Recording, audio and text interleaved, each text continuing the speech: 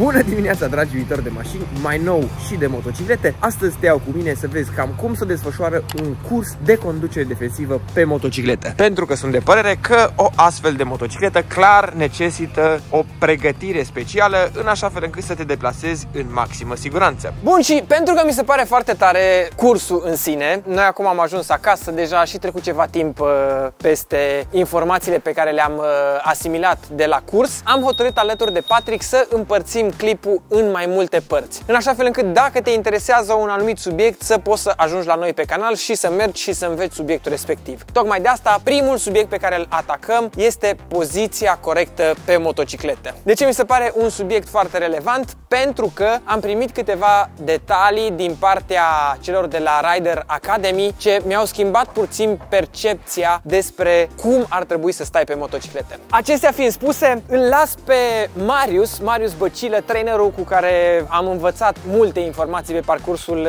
acestei zile spectaculoase. Ca o paranteză, ai și link în descriere dacă te interesează în sezonul următor să mergi să înveți mai multe informații. Și facem așa, ne organizăm cu întrebări. Eu o să pun întrebările aici, după care Marius o să ne răspundă prin intermediul imaginilor pe care eu le-am filmat la cursul organizat de Rider Academy. Cred că prima întrebare pe care ar trebui să-ți o pui când vine vorba despre motocicletă ar fi cum să te așezi pe ea cum să îți poziționezi piciorul pe scăriță, cum să îți poziționezi genunchii pe rezervor. Dacă v-ați întrebat ce am aici pe blug, am fost acum câteva minute să spăl Raptorul și am dat cu spumă verde și uite, m-am rezolvat. Deci da, primele informații care mi s-ar părea relevante, cum comunicăm cu motocicleta, cum ne așezăm genunchii pe rezervor, ce distanță păstrăm între familie și rezervor și o problemă cu care eu m-am întâlnit este cum ar trebui să te poziționezi față de ghidon. Poziția asta corectă, în mare, așa ca principiu, înseamnă să te ancorezi pe motocicletă astfel încât să poți simți foarte bine ce îți transmite. Ea tot timpul îți transmite niște senzații, niște informații despre aderență față-spate, încărcarea feței, a spatelui, înclinare, derapajele eventuale, da? Despre ce se întâmplă cu motocicleta în momentul ăla, în ce stare e motocicleta în momentul ăla. Și cu cât stau mai bine pe motocicletă, simt mai bine senzațiile astea și asta îmi dă încredere, pentru că în majoritatea timpului simt că motocicleta mea e gata să intre în viraje, să frâneze, pot să o controlez bine. Și dacă stau bine pe motocicletă, în același timp pot să o controlez cu precizie și cu finețe. Și precizia și finețea sunt mult mai importante decât forța pe motocicletă. Mai ales pentru o utilizare civilizată pe stradă, forța e practic irelevantă și precizia și finețea sunt cam totul. O altă provocare cu care m-am întâlnit și o altă informație pe care am regăsit-o pe TikTok și după care Marius mi-a explicat-o foarte bine, face referire la poziționarea piciorului pe scăriță. Logic, eu ca și începător îmi așezam piciorul gospodărește așa, cu scărița la jumătatea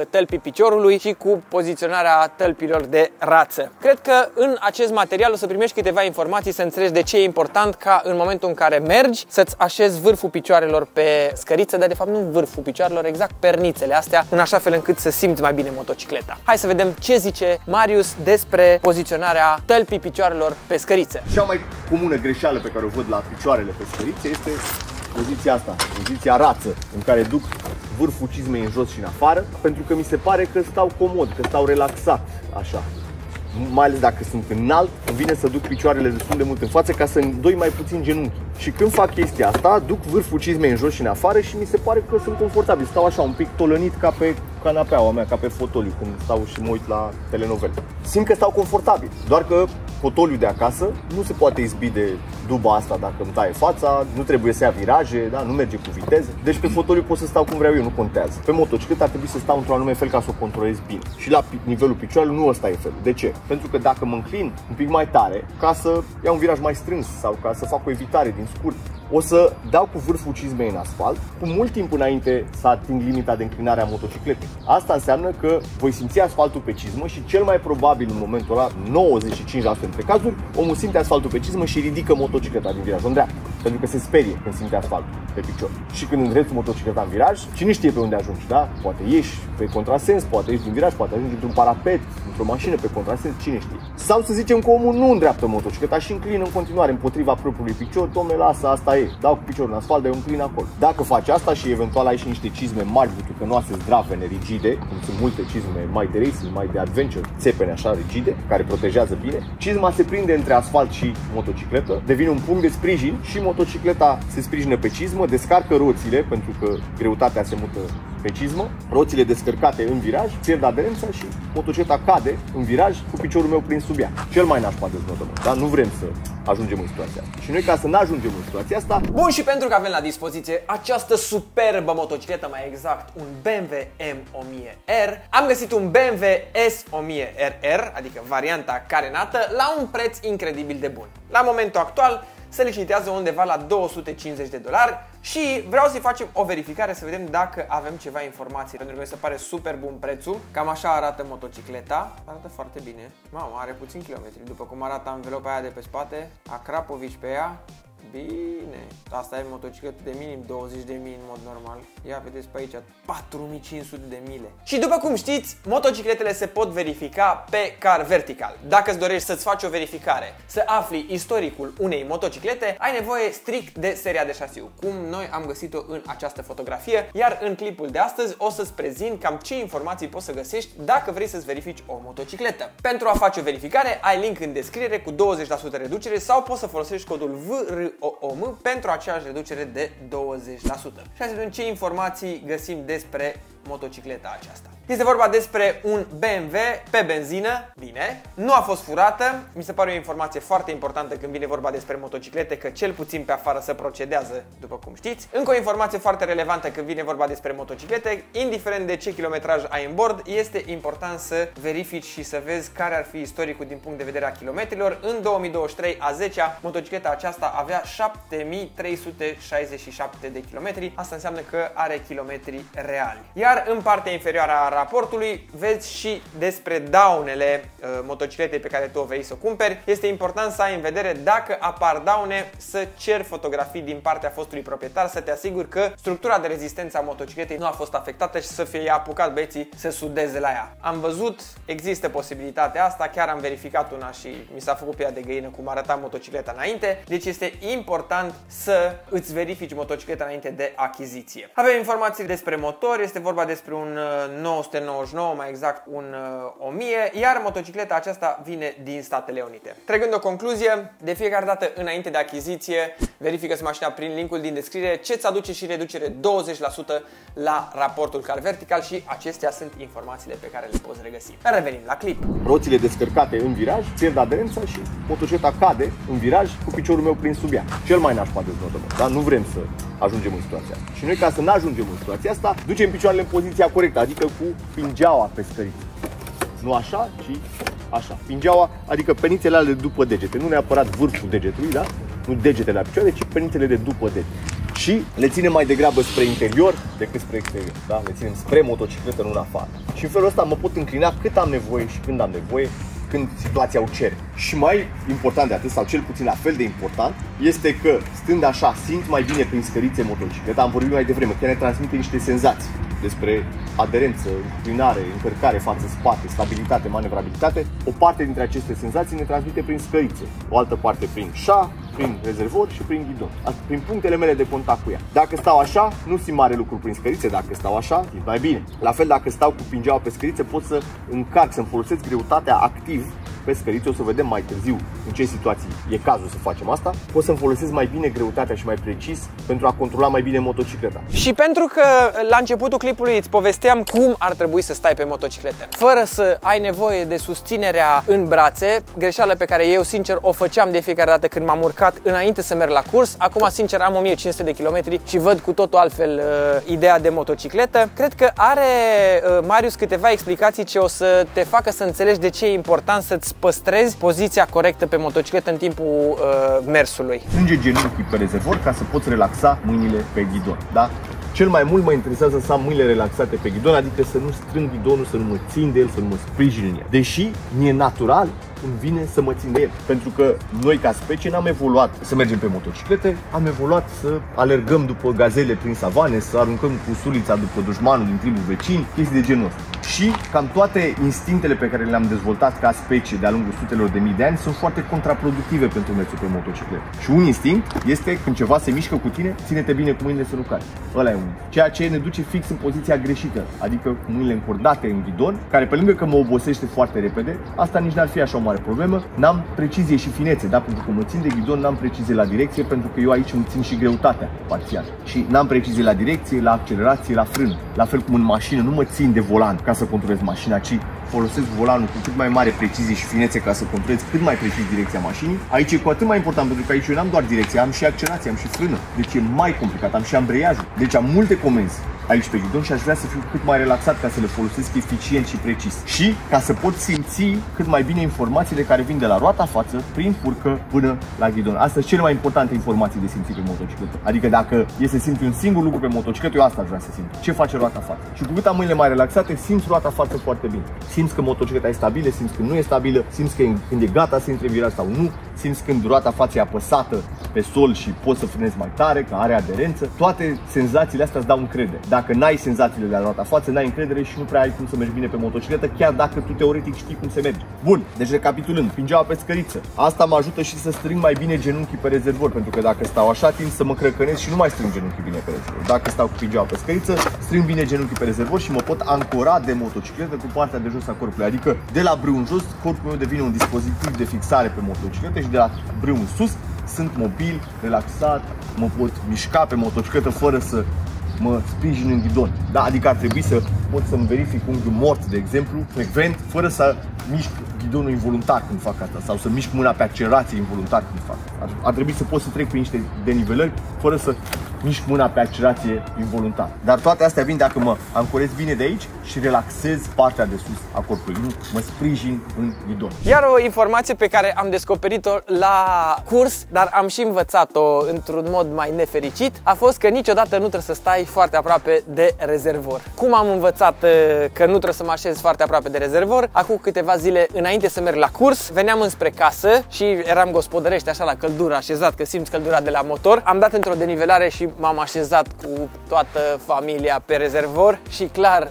nu e o experiență ce aș vrea să o resimt, mai ales că era motocicleta într-un mod race, adică era cu suspensia tare și ce mi se pare foarte tare că în momentul în care am aplicat tehnicile prezentate la curs, te poziționezi și simți cu totul diferit motocicleta. Aici se mai pune întrebarea unde să stau față de rezervor mai în față sau mai în spate. În general, ca o regulă 95% valabilă, ar fi bine să nu stau călare în rezervor. Ideal ar fi să stăm 2-3 cm departare de rezervor. Nu doar ca să nu ne luăm lovitura aia fatală când e momentul, ci și pentru că dacă stau un pic departe față de rezervor, am o priză mai bună pe el. La multe motociclete, dacă stai foarte în rezervor, asta te crecănează aici și nu mai ai priza bună, adică trebuie să stai așa. Și dacă te duci așa 2-3 cm mai în spate, ai priză pe toată coapsa și strângi foarte bine rezervorul între genunchi. Deci, în general, e bine să avem acești 2-3 cm. Aici sunt diferențe în sensul că dacă eu sunt foarte înalt și motocicleta mea e destul de mică și compactă, va veni să stau foarte în spate ca să am cât de cât loc pe ea, să nu stau super înghesuit. Dacă eu sunt mic și motocicleta mea este lungă, mare, va veni să stau foarte în față ca să nu mă întind foarte tare după ghidon.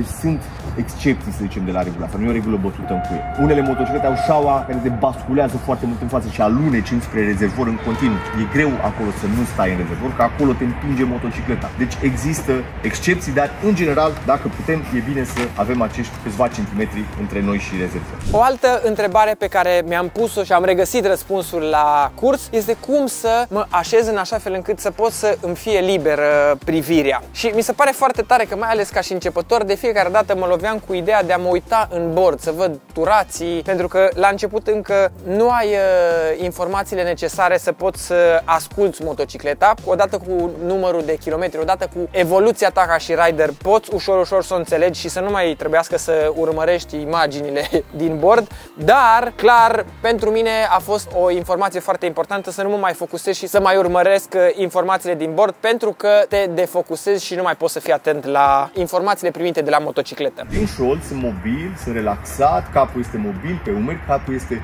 sus, privirea sus, da, nu mă uit la motocicletă în timp ce merg pe ea și nu mă uit aici la 2 metri, un metru în fața motocicletei, ci departe în față.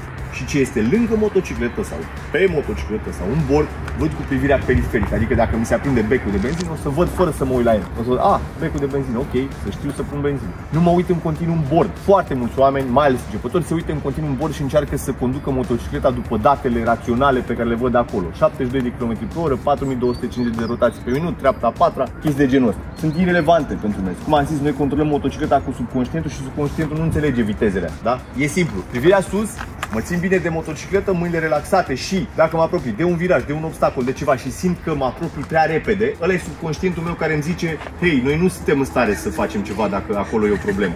Deci, încetinez. Chiar dacă în momentul ăla în bord scrie 42 de km pe oră. Câteodată, 42 de km pe oră e o viteză prea mare pentru mine în anumite situații. Și la polul opus poate să existe o situație în care am 120 de km pe oră și sunt foarte relaxat pentru că nu e niciun obstacol imediat, vizibilitatea e bună, simt că controlez bine motocicleta și ok, nu trebuie să încetinez, deși sunt la o viteză mult mai mare. Mă refer strict pentru siguranță și controlul motocicletei, viteza din bord este irrelevant. Eu trebuie să simt viteza și să ascult ce simt când simt ceva legătură cu viteza. Simt că e prea repede, o las mai ușor. Și asta e poziția activă pe motocicletă, poziția în care mă țin bine de ei, privirea sus și capul mobil pe umeri, adică vreau să mă duc în stânga, mă uit cu ochii în stânga, mă uit cu toată fața și accept că restul lucrurilor, ce e aici, imediat în fața mea, în fața motocicletei, bicicletei, văd cu privirea periferică și văd suficient de bine cât să îmi dau seama unde e parapetul, unde e marginea drumului, unde e o groapă, unde sunt diversele lucruri de pe drum, da? Vreau să merg încolo, mă uit încolo. Primul lucru, mă uit încolo și după aceea duc și motocicleta. În niciun caz nu sunt cu fața așa în lungul motocicletei și fața mea se mută odată cu motocicleta. Pentru că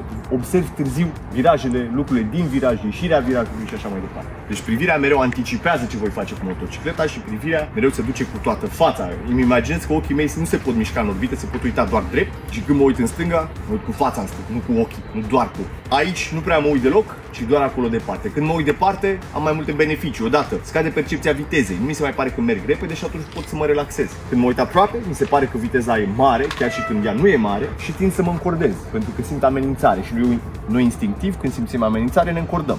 La fel că mă uit departe, observ din timp potențialele obstacole, probleme, virajele, gropile, mașinile care schimbă benzi, pietonii care pun piciorul pe drum, pe trecere, da? Observăm din timp și putem rezolva înainte să se transforme în urgențe. La fel că mă uit departe, am un simț al echilibrului îmbunătățit. Cu cât mă uit aproape, se mișcă chestiile mereu față de mine și eu nu prea simt așa bine echilibru. Când mă uit departe, am repere departe de mine care nu se mișcă față de mine decât foarte încet și pot să-mi judec echilibru mai bine, să simt mai bine echilibru pentru atunci când merg încet. Bun, și dacă am vorbit despre poziționarea picioarelor, despre poziționarea genunchilor, despre poziționarea brațelor, cred că ar fi important ca în acest moment să trecem și la poziționarea degetelor pe manetă, pentru că Marius mi-a dat câteva informații foarte importante ce vreau neapărat să le împărtășesc cu voi. Mâinile plutesc pe ghidon, putem să ținem și e recomandabil să ținem câte două degete pe manete ca să reacționăm rapid în caz de ceva, mai ales pe maneta de frână față și când acționăm manetele la motocicletele moderne ar trebui să nu avem nevoie de mai mult de două degete. Două degete pe ambreiaj, două degete pe frână. Când frânăm cu patru degete,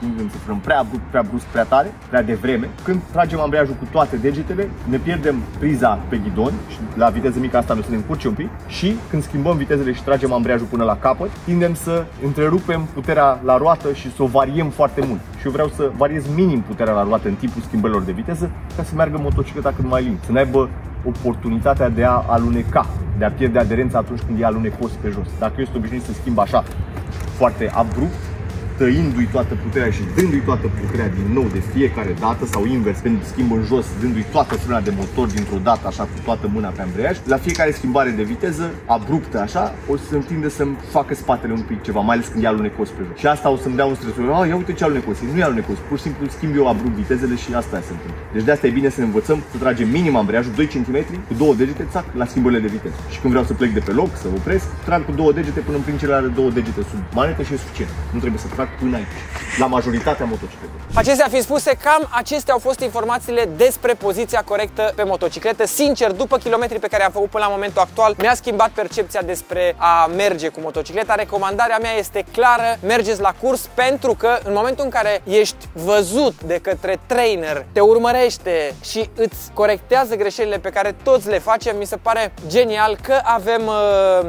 un trainer atât de tare, acreditat de BMW, deci uh, puteți puteți să vă dați cu părerea pe un alt canal de comunicare, nu la noi, pentru că sunt sigur că informațiile ce le veți primi aici, mai ales când vine vorba despre colaborarea cu Marius Băcile, sunt de cea mai bună calitate. Acestea fiind spuse, eu am fost Mihai Beldie, tu astăzi ai urmărit vreun vreun vlog și până la următorul material, ride safe și iubiți-vă mult! Motoarele și mașinile, pa, pa!